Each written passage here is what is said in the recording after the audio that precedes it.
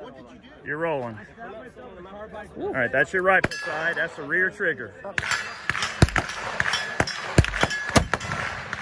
All right, now cock that right hammer and, and uh, the front trigger is your 12 bore.